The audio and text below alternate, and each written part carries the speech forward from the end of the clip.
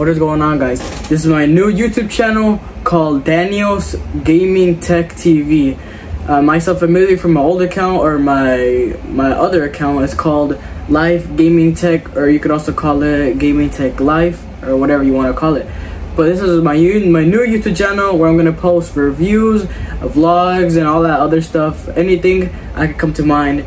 But I just wanna say thank you guys for watching. Comment, like, and subscribe, and I'll see you guys next time. Bye.